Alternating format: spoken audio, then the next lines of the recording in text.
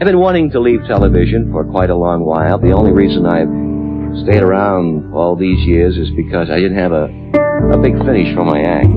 Come to think of it, I never really had a beginning either. But uh, this is the last show for perhaps ever, I don't know. Some people I know expect a tearful farewell, and others, I'm sure, gleefully expect me to take a jab at the network or swing at some newspaper. I'm going to disappoint both of you tonight. I'm from a generation with no limitations, but we choose to trade it all for similar faces. Drink alcohol and get involved in simple relations. Low standards cause our expectations are basic traditions. End up missing like written inscriptions. Different decisions, and I'm giving division. I guess the quotient's emotion. We're all stuck in emotion. I keep running out of chances, and chances I'll blow it. The opportunities for you and me's in unity. Drinking just to ruin me. None of these things are new to me.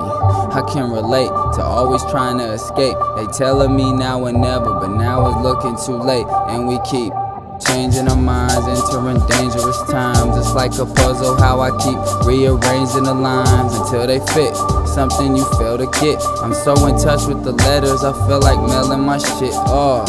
If you found and show me how you would get lost. A brief description of feelings we tend to feel most. I feel close, but we further than ever.